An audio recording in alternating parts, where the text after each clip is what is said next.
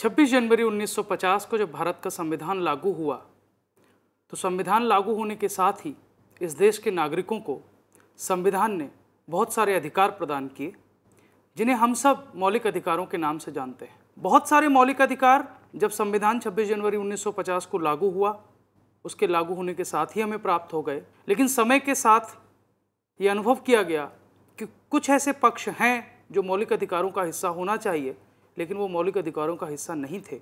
धीरे धीरे वे भी हमारे मौलिक अधिकारों में सम्मिलित होते चले गए। शिक्षा एक ऐसा ही विषय है। हम सब जानते हैं कि छियासीवें संविधान संशोधन के उपरांत और 2009 में शिक्षा का अधिकार अधिनियम पारित होने के बाद शिक्षा एक अधिकार के रूप में इस देश के नागरिकों को प्राप्त हुई। शिक्षा हमारा मौलिक अधिकार कैसे बनी? एक मौलिक अधिकार के रूप में शिक्षा की क्या आवश्यकता है?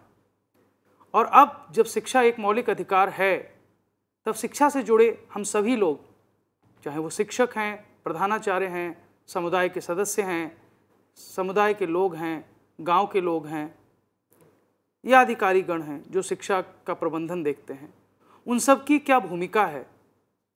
इस सब पर चर्चा करने के लिए आज मेरे साथ हैं डॉक्टर आशीष श्रीवास्तव। आपका स्वागत है आशीष श्रीवास्तव जी। डॉक्टर आशीष श्रीवास्तव, विश्व भारती शांति निकेतन के शिक्षा संकाय में सह आचार्य हैं और आज वे हमारे साथ चर्चा करेंगे शिक्षा एक मौलिक अधिकार के रूप में।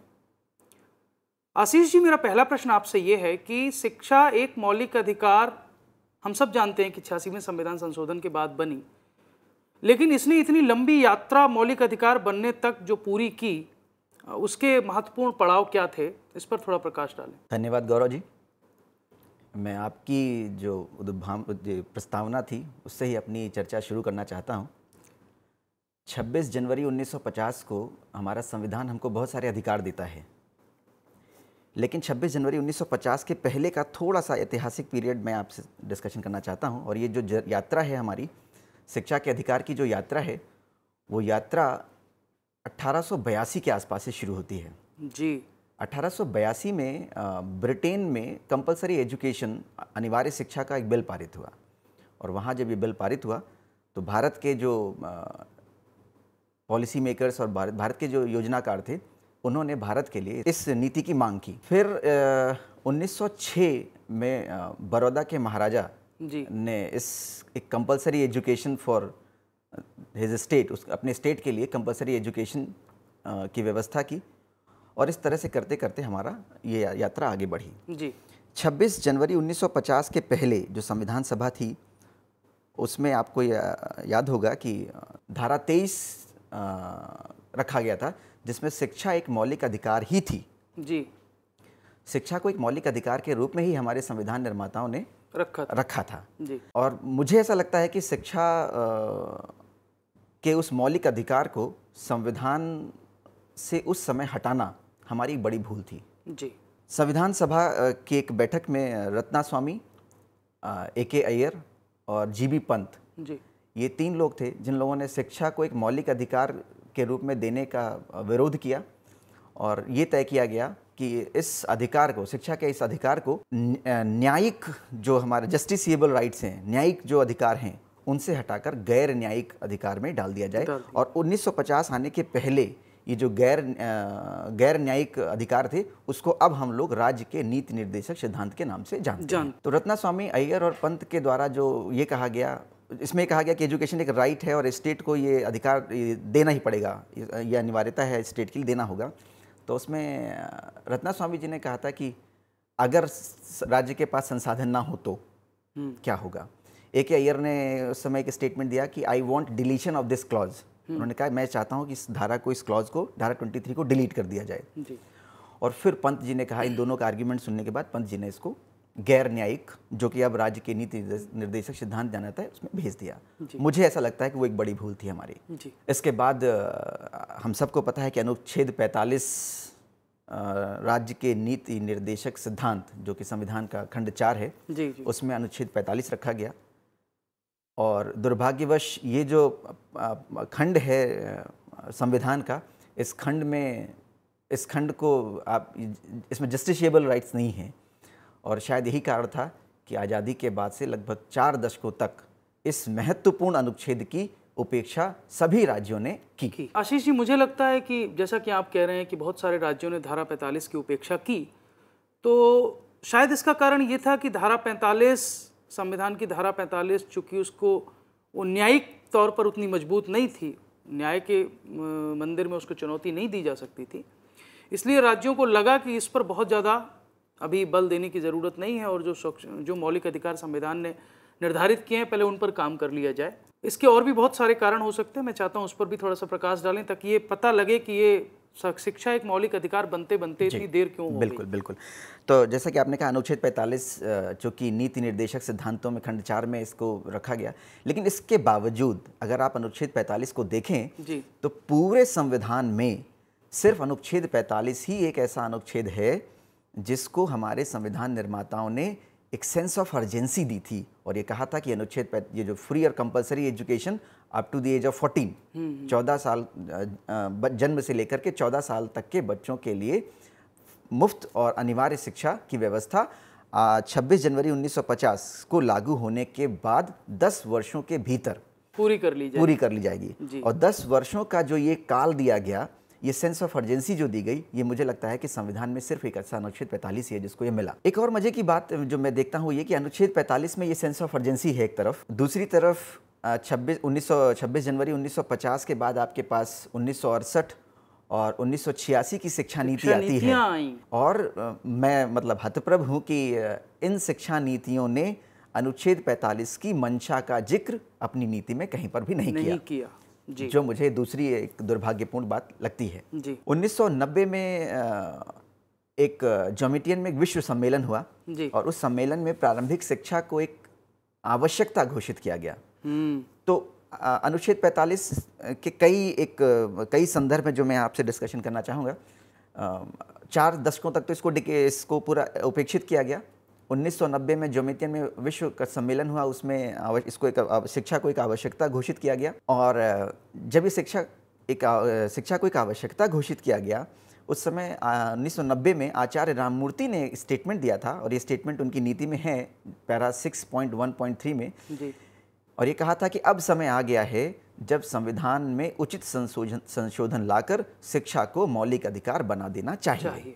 जी। लेकिन 1990 में दुर्भाग्यपूर्ण तरीके से फिर इस पर ज़्यादा चर्चा परिचर्चा नहीं हुई। जबकि बयानबे में एक फिर रिवाइज पॉलिसी जी आई जी फिर उसी पॉलिसी की प्रिपरेशन के दौरान राममूर्ति को ये आचार्य राममूर्ति जी को ये विचार आया था कि अब उचित संशोधन ला करके इसको मौलिक अधिकार बना देना चाहिए। व्यक्तिगत रूप से मैं उन्नीस को एक बहुत महत्वपूर्ण वर्ष मानता हूँ शिक्षा के अधिकार के क्षेत्र में। और ये महत्वपूर्ण वर्ष इसलिए है कि जेपी युन्नी कृष्णन आंध्र प्रदेश से एक विचारक थे। उन्होंने सुप्रीम कोर्ट में एक याचिका दायर की और उनकी याचिका पर सुप्रीम कोर्ट ने एक ऐतिहासिक निर्णय दिया। जी। और इस ऐतिहासिक निर्णय ने आज हमको और आपको यहाँ पर बैठ पर चर्चा करने के लिए मजबूर किया है जी। रख दिया है। जी। सुप्रीम कोर्ट ने इस पूरे संदर्भ को एक डिफरेंट एक अलग परिप्रेक्ष्य में देखा और ये कहा कि शिक्षा का अधिकार जो है वो राइट टू लाइफ जीवन के अधिकार से इन्फर करता है जुड़ा जी, है। जी। और इसीलिए राइट टू लाइफ से राइट टू एजुकेशन इन्फर करती है। अब एक मज़े की बात यह कि भारतवर्ष के उच्चतम न्यायालय से इस तरह का कथन और इस तरह के तमाम स्टेटमेंट्स देश के अन्य न्यायालयों से आने के बाद भारत सरकार ने गंभीरता से इस विषय पर सोचा और उन्नीस सौ छियानबे में एक सैकिया समिति का गठन किया। जी। सैकिया समिति का जो गठन किया सैकिया समिति के गठन में समिति में सब पूरे देश के सभी प्रांतों के शिक्षा मंत्री उसके सदस्य सदस्य बने और इस समिति ने अपना प्रतिवेदन उन्नीस सौ सत्तानबे में दिया। जी। और सैकिया कमेटी ने सुप्रीम कोर्ट के उस निर्णय का और जो तमाम परिस्थितियाँ थीं ऐतिहासिक संदर्भ थे उनका अवलोकन करने के बाद सैकिया कमेटी ने भी कहा समिति ने भी कहा कि अब समय आ गया है कि शिक्षा के अधिकार के लिए संविधान में संशोधन किया जाना चाहिए और इसीलिए ये समिति तिरासीवा संविधान संशोधन प्रस्तावित करती है। जी। सिक्का समिति ने तिरासीवा संशोधन प्रस्तावित किया था। जी। लेकिन बीच में कुछ और कारणों के चलते अंततः संविधान का छियासीवा संशोधन बना। जो कि 2002 में भारत सरकार ने किया उसमें हमारे संविधान में अनुच्छेद 21 ए 21 का जी। जोड़ा गया जिसमें कहा गया ऐसे ढंग से जैसा कि राज्य कानून द्वारा निर्धारित करता है मौलिक अधिकार के रूप में 6 से 14 वर्ष के आयु समूह के सभी बच्चों को मुफ़्त और अनिवार्य शिक्षा का प्रावधान करता है। आशीष जी आपने बहुत अ, सही बात कही कि चूँकि आपने पूरा ऐतिहासिक वृत्तांत दिया अठारह सौ बयासी से और 2002 तक लंबे समय तक जो भी शिक्षा को मौलिक अधिकार बनाने को लेकर प्रयास होते रहे। इसके साथ ही जब आप छियासीवें संविधान संशोधन की बात करते हैं तो शिक्षा से संबंधित तीन महत्वपूर्ण पक्ष उस संविधान संशोधन का अंग रहे हैं। एक तो धारा इक्कीस एक का जुड़ जाना साथ ही धारा 45 का पुनर्परिभाषित होना। जी। तो मैं चाहता हूँ कि आगे बढ़ने से पहले हम उन पक्षों पर भी थोड़ी चर्चा करें कि धारा 45 में किस तरह से पुनर्प्रस्तावना हुई जी। और किस तरह से मौलिक कर्तव्यों में जी। शिक्षा को जोड़ा गया। जी। क्योंकि ये तीन महत्वपूर्ण बिंदु हैं जो हमें लगता है कि छियासीवें संविधान संशोधन से जुड़े हैं और जिसने धीरे धीरे उस एक्ट को बनने के लिए प्रेरित किया जो एक्ट 2009 में जी। लागू हो पाया। जी जी। जी। हमारे संविधान का जो मौलिक अनुच्छेद 45 है जी। पहले तो उसमें एक बात मैं जोड़ना चाहूँगा कि उस मौलिक अनुच्छेद 45 में ये कहा गया था कि 26 जनवरी 1950 में संविधान लागू होने के 10 वर्ष के भीतर जन्म से 14 वर्ष तक शिक्षा की फ्री मुफ़्त और अनिवार्य शिक्षा की व्यवस्था की जाएगी। जी। और सुप्रीम कोर्ट का जब निर्णय आया यूनिकृष्णन के केस में तो उसमें भी उम्र को लेकर के और किसी पीरियड को काल को लेकर के सुप्रीम कोर्ट ने कोई भी अपना टिप्पणी नहीं टिप्पणी नहीं की। जी। सैकिया कमेटी ने भी इस पर इस तरह की कोई टिप्पणी नहीं की लेकिन दुर्भाग्यपूर्ण तरीके से जब ये आर्टिकल 21 ए बना। आ, बना तो इसमें ये जो व्यवस्था थी वो जन्म से 14 वर्षों की उसको छह से चौदह 6 वर्ष से 14 वर्ष कर दी। जी। और जिस समय ये 6 से 14 वर्ष की उस समय जन्म से लेकर के 6 साल के जो बच्चे थे 6 साल तक के जो बच्चे थे वो शिक्षा के अधिकार के क्षेत्र से बाहर बाहर हो गए। जी। जी। और इसीलिए उनको फिर धारा 45 का अंग फिर से बना उसको दिया प्र, प्र, प्रस्ताव प्रस्ताव मतलब वो फिर से एक नीति निर्देशक तत्व का हिस्सा बनकर रह गए। रह गए जी हाँ। जी। अब उसके ऊपर फिर से जो है हमारा विचार पुनर्विचार चल रहा है। चलिए अब हम बात करते हैं शिक्षा के अधिकार अधिनियम की जो 2009 में पारित हुआ और 2001 अप्रैल 2010 से लागू हुआ। जी। उसके विषय में बहुत सारी चर्चाएँ की जा सकती हैं बट हम ये जानना चाहते हैं कि उसके वो कौन से मुख्य बिंदु थे? वो कौन से मुख्य बिंदु थे जो शिक्षा की दशा और दिशा को बदलने में एक क्रांतिकारी परिवर्तन के तौर पर सामने आए? बिल्कुल। ये बहुत अच्छा सवाल है। अ, शिक्षा के अधिकार अधिनियम की जो आधारभूत समझ है जी। वो हमारे लर्नर्स को होनी चाहिए। और इसके लिए मैंने पूरे शिक्षा के अधिकार अधिनियम को मुख्यतः दस बिंदुओं में इसको बांटा है बांटा है। ठीक। और कोशिश ऐसी की है कि ये बिंदु इस तरह से हों जिसको हमारा लर्नर अ, आसानी से से अधिनियम के साथ उसका तारतम्यता उसकी स्थापित कर सके। जी जी। तो शिक्षा के अधिकार के अधिनियम की जो आधारभूत समझ है उसमें सबसे पहला बिंदु है कि ये जो अधिकार है ये शिक्षा को अधिनियम है ये शिक्षा को मुफ़्त बनाती है। हम्म। और इस बात को देखने के लिए अगर आप अधिनियम खोल करके रखें सामने और देखें जी। तो हमारे अधिनियम का शीर्षक और उद्देश्य अनुच्छेद दो टू बी और एट ए और थ्री टू ये तीन अनुच्छेद शीर्षक और उद्देश्य इस बात की इस, इस बिंदु की इस बिंदु की कि शिक्षा को मुफ़्त बनाती है इस पर चर्चा करते हैं। जी जी जी। शिक्षा के अधिकार अधिनियम में दूसरा बिंदु जो है वो है राज्य के लिए शिक्षा प्रदान करना अनिवार्य बनाती है। राज्य की ज़िम्मेदारी। अब ये ज़िम्मेदारी है जी। और अब ये जस्टिसिएबल है। जी। अब आप अगर राज्य नहीं करता है तो आप उसको न्याय के मंदिर में चुनौती दे सकते हैं। जी। तो राज्य के लिए शिक्षा प्रदान करना अनिवार्य बनाती है। ये दूसरा बिंदु है इसका। जी। और इस बिंदु को आप बहुत ही आसानी से शीर्षक में अनुच्छेद two A two H three one four five one five two six seven eight nine. जो हमारा अधिनियम है इसके जो अनुच्छेद हैं ये इसमें आप बहुत ही आसानी से इसको इन्फर कर सकते हैं कहने का अर्थ ये लगा है सकते कि राज्य का जो कर्तव्य है हाँ। जो राज्य की ज़िम्मेदारी है शिक्षा को प्रदान करना उसको लेकर केवल एक जगह नहीं पूरे अधिनियम में कई जगह और बार बार इस बात पर ज़ोर दिया गया है कि ये राज्य की ज़िम्मेदारी है राज्य को इसे पूरा करना ही करना होगा। जी हाँ। जी। तो मैंने इसको पूरे अधिनियम में जिन जिन अनुच्छेदों में देखा उसका यहाँ पर ज़िक्र किया। ज़िक्र किया नहीं, अच्छा है। जी। जी। शिक्षा के अधिकार अधिनियम में तीसरा जो महत्वपूर्ण बिंदु है जिसको मैं यहाँ पर जिसकी चर्चा करना चाहूँगा वो है संवैधानिक मूल्यों के अनुसार पाठ्यचर्या। हमारी जो पाठचर्या हो वो संवैधानिक मूल्यों के परिप्रेक्ष्य में हो उनके संदर्भ में हो और इस बात को बहुत ही आसानी से अनुच्छेद में अधिनियम के अनुच्छेद सात six A C twenty nine one twenty nine section sub section two से एच तक में आप इसको आसानी से देख सकते हैं जिसमें बार बार ये ज़िक्र किया जा रहा है कि हमारी जो पाठ्यचर्या हो कैसी वो संवैधानिक मूल्यों के जी, अ, संदर्भ में ही हो। वो तो संविधान की प्रस्तावना से ही स्पष्ट हो जाता है कि भारत में जो संवैधानिक मूल्य हैं चाहे वो समता का मूल्य है समानता का मूल्य है न्याय का मूल्य है रक्षा का मूल्य है सबको एक बराबर अधिकारों देने का मूल्य है। तो इस तरह के मूल्य हमारे पाठ्यचर्या में निरंतर आते रहने चाहिए ताकि मूल्य निर्माण पाठ्यचर्या के साथ साथ चलता रहे। और इसकी बात पूरी तरह से इस एक्ट में कई जगहों कई पर जगहों पर इस तरह से उसको मेंशन किया गया है। जी। शिक्षा के अधिकार अधिनियम में चौथा महत्वपूर्ण बिंदु जो मैं देखता हूँ वो ये है कि ये जो अधिकार का अधिनियम है ये गुणवत्तापूर्ण शिक्षक सुनिश्चित करती है।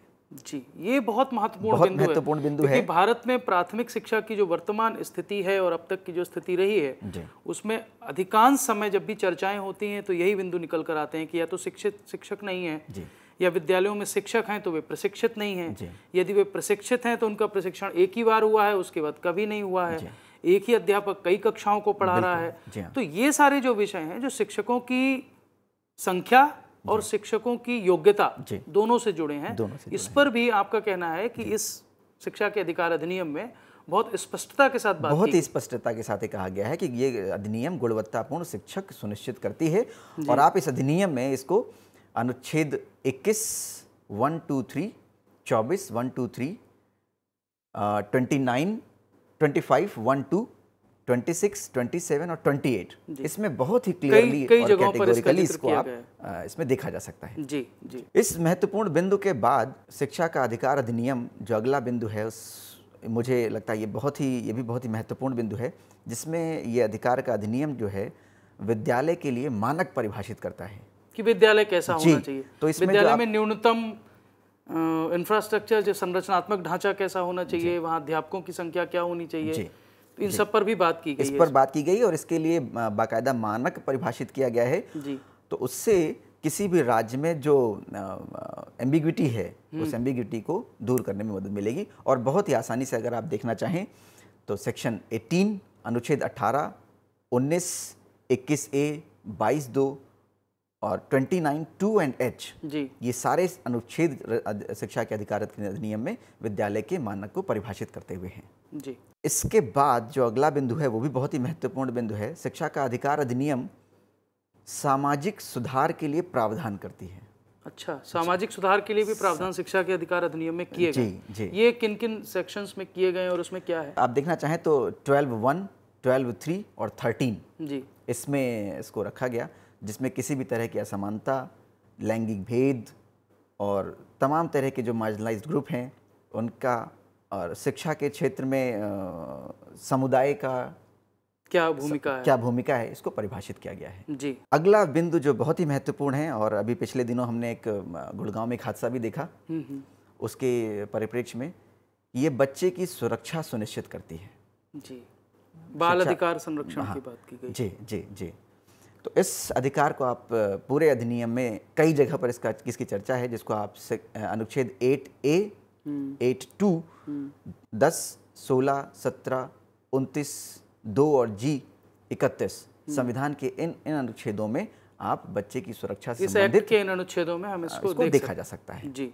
अगला जो बिंदु है वो अ, मुझे लगता है कि भारत जैसे देशों के लिए जहाँ इतना इतनी विविधता और इतना उतार चढ़ाव है उस देश के लिए बहुत ही महत्वपूर्ण बिंदु है कि शिक्षा का जो अधिकार अधिनियम है ये पूरी प्रक्रिया को शिक्षा की पूरी प्रक्रिया को आसान बनाती है। जी। और इस बात को हम अनुच्छेद पाँच एक पाँच दो चौदह और पंद्रह में देख सकते हैं।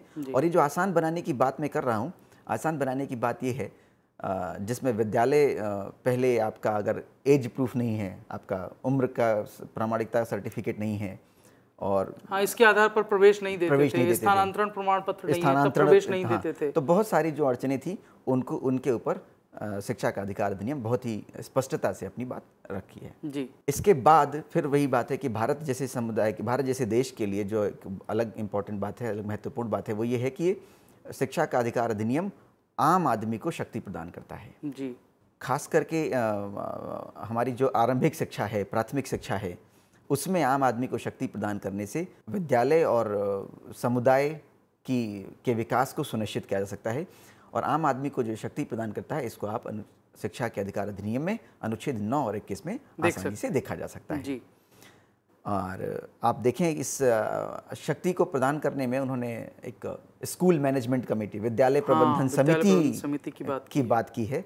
जिसमें उन्होंने कई तरह से उसके काम भी काम बताए हैं। बताए हैं। और उसका सबसे बड़ा काम है विद्यालय योजना बनाना स्कूल डेवलपमेंट हाँ, प्लान स्कूल डेवलपमेंट प्लान बनाने का, जी हाँ। यानी कि समुदाय की पूरी तरह से भागीदारी है अब विद्यालय कैसे आगे बढ़ेगा हाँ। ये निर्धारित करने में। और विद्या इस विद्यालय की इस प्रबंधन समिति में कोई हेर फेर ना होने पाए इसलिए उन्होंने समिति का जो एक संरचनात्मक प्रारूप है वो भी स्पष्ट कर उसको भी हाँ। ये भी स्पष्ट किया है कि कितने वो केवल उन्हीं बच्चों के माता पिता होंगे जो बच्चे वहाँ पढ़ रहे होंगे उसमें महिलाओं की प्रतिशतता कितनी होगी अन्य जातियों की जनसूचित जातियों की जनजातियों की भागीदारी भी सुनिश्चित की गई है। तो ये तो अच्छी बात है उससे एक विविधता भी आती है और विभिन्न पक्षों के जो विचार हैं वो उसमें समाहित किए जा सकते अब इस पूरी प्रक्रिया में आखिरी बिंदु जिसको भी महत्वपूर्ण मानता हूँ और वो ये है कि शिक्षा का अधिकार अधिनियम परीक्षा के उत्पीड़न को कम करता है। हालाँकि एक बड़ा चर्चा का विषय है लेकिन जब ये अधिकार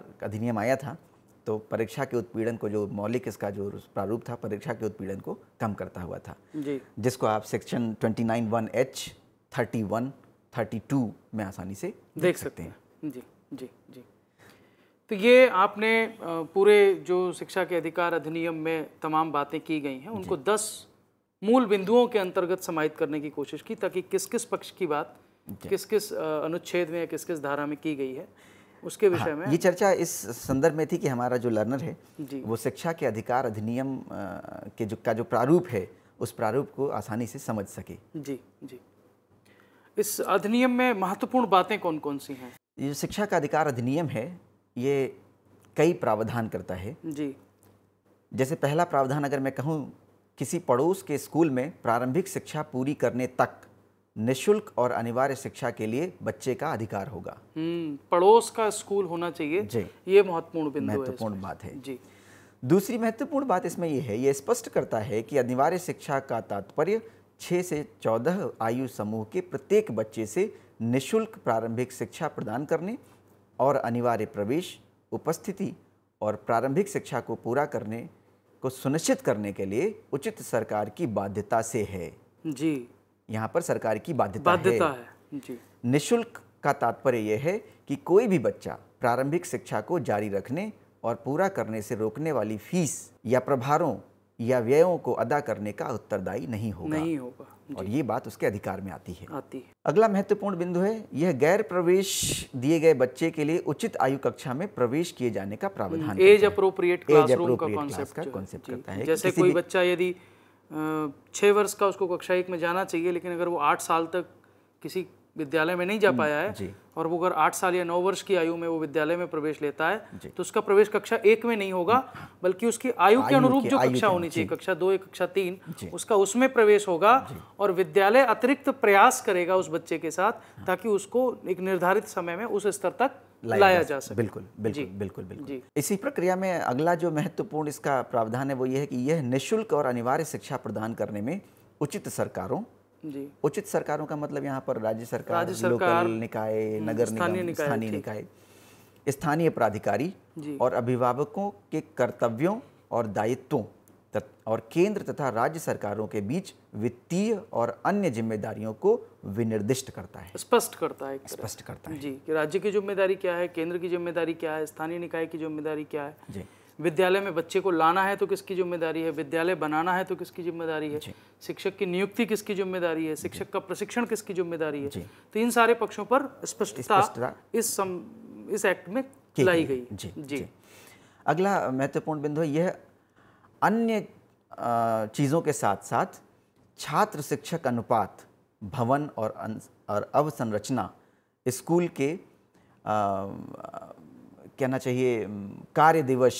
कितने दिन स्कूल जी, न्यूनतम खुलना जी। चाहिए? शिक्षक के कार्य के घंटों में से संबंधित मानदंडों और मानकों को निर्धारित करता है। जी। अगला महत्वपूर्ण बिंदु है यह राज्य या ज़िले अथवा ब्लॉक के केवल औसत की बजाय प्रत्येक स्कूल के लिए रखे जाने वाले छात्र और शिक्षक के निर्दिष्ट अनुपात को सुनिश्चित करके अध्यापकों की तैनाती के लिए प्रावधान करता है। जी। इस प्रकार यह अध्यापकों की तैनाती में किसी शहरी ग्रामीण संतुलन को सुनिश्चित करता है। अच्छा। यह दस वर्षीय जनगणना स्थानीय प्राधिकरण राज्य विधानसभा और संसद के लिए चुनाव और आपदा राहत को छोड़कर गैर शैक्षिक कार्य के लिए अध्यापकों की तैनाती का भी निषेध करता है। जी अब वो टीचिंग के अलावा और अन्य कार्यों में नहीं लगाए जा सकते केवल कुछ कुछ कार्य हैं आपदा प्रबंधन कुछ आपदा आ जाए तब है। या जो दस वर्ष में एक बार जनगणना जन- होती है वो है या चुनाव की ड्यूटी है। इन तीन को छोड़ करके वो उनको और किसी काम में अध्यापकों को नहीं लगाया जा सकता। है, क्योंकि अध्यापकों की अक्सर शिकायत रहती थी कि वो और सारे काम करते रहते हैं इसलिए विद्यालय में पढ़ाने के लिए उनको समय कम मिल पाता है। जी जी। जी। अगली इस प्रक्रिया में आगे बढ़ते हुए ये उपयुक्त रूप से शैक्षिक योग्यताओं के साथ प्रशिक्षित अध्यापकों की नियुक्ति के लिए प्रावधान करती जी। है। जी टीचर्स को ट्रेंड होना चाहिए इस पर बहुत ज़्यादा बल जी दिया जी गया जी। और इसी प्रावधान पर अभी कुछ संशोधन भी अ, आ रहा जी है। जी। कुछ और छोटे छोटे बिंदु हैं जिसके जिसके ऊपर चर्चा करना चाहूँगा संक्षेप में हमें चर्चा कर लेनी चाहिए ताकि वो बिंदु छूट और ये है कि शारीरिक दंड और मानसिक उत्पीड़न बच्चे के प्रवेश के लिए अनुवीक्षण प्रक्रियाएँ हम्म, प्रति व्यक्ति शुल्क अध्यापकों द्वारा निजी ट्यूशन और बिना मान्यता के स्कूलों को चलाना निषिद्ध करता है। ये सब नहीं हो सकता। नहीं हो सकता है इसमें। बिल्कुल सही ये संविधान के प्रतिस्थापित मूल्यों के अनुरूप पाठ्यक्रम के विकास के लिए प्रावधान करता है जिसकी चर्चा हम लोगों ने आगे की थी। जी। जो बच्चे के समग्र विकास बच्चे के ज्ञान संभाव्यता और प्रतिभा निखारने तक बच्चे की मित्रवत प्रणाली एवं बच्चा केंद्रित ज्ञान प्रणाली के माध्यम से बच्चों को डर चोट चिंता से मुक्त बनाने के लिए सुनिश्चित करेगा। जी जी। अधिनियम। तो मुझे लगता है कि अ, शिक्षा के अधिकार अधिनियम में बहुत विस्तार से और जो शिक्षा से जुड़ी मुख्य चिंताएँ थीं चाहे वो विद्यालयों की संख्या हो विद्यालयों की स्थापना हो विद्यालयों की अवसंरचना हो शिक्षकों की तैनाती हो शिक्षकों का प्रशिक्षण हो जो आउट ऑफ़ स्कूल चिल्ड्रन हैं जो बच्चे इस विद्यालय से बाहर हैं उनको विद्यालय में कैसे लाया जाए विद्यालय में उनको केवल लाया ना जाए बल्कि उनकी गुणवत्ता शिक्षा की कैसे सुनिश्चित की जाए उसमें समुदाय की भागीदारी कैसे लाई जाए उसके साथ राज्य सरकार के क्या दायित्व तो हैं स्थानीय निकाय के क्या दायित्व तो हैं केंद्र सरकार के क्या दायित्व तो हैं यदि इस अधिकार को लागू करने के लिए जो वित्तीय व्यवस्थाएँ हैं उसमें केंद्र सरकार की क्या भूमिका है राज्यों की क्या भूमिका है और साथ ही विद्यालय के विकास की योजना बनाने में स्थानीय समुदाय की भागीदारी। क्या है? ये वो महत्वपूर्ण विषय हैं जिन पर इस में बहुत विस्तार से और स्पष्ट तौर से चर्चा की गई है। मुझे लगता है कि इन प्रावधानों पर और विस्तार से आगे बात करने की ज़रूरत है, जिसको हम आगे बात करेंगे। आपने संक्षेप रूप में पूरे एक्ट को, जो शिक्षा का अधिकार अधिनियम है, उसके सभी मुख्य प्रावधानों को यहाँ रखा चर्चा के लिए। आपका बहुत बहुत धन्यवाद।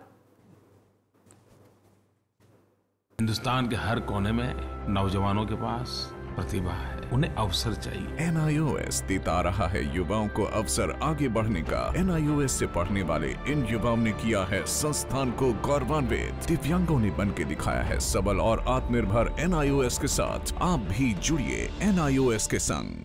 हिंदुस्तान के हर कोने में नौजवानों के पास प्रतिभा है। उन्हें अवसर चाहिए। एनआईओएस देता रहा है युवाओं को अवसर आगे बढ़ने का। एनआईओएस से पढ़ने वाले इन युवाओं ने किया है संस्थान को गौरवान्वित। दिव्यांगों ने बन के दिखाया है सबल और आत्मनिर्भर एनआईओएस के साथ। आप भी जुड़िए एनआईओएस के संग।